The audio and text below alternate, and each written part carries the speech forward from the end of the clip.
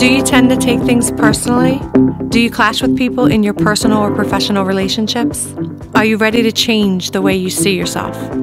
If you answered yes to any of these questions, this next event is for you.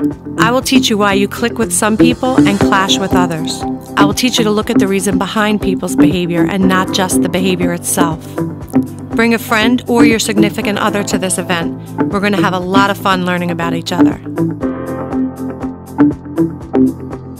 thank you